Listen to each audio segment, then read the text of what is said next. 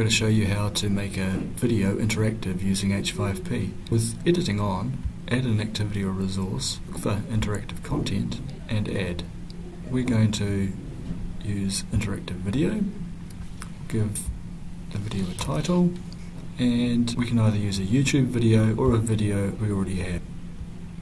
And now I can add interactions, anything from labels through to multiple choice questions, drag and drop activities. I'm going to scrub through the video to the point where I want to add a label.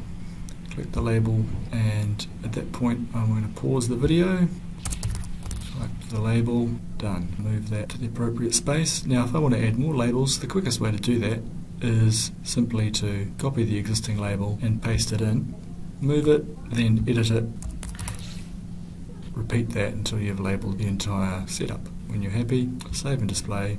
That's all there is to it.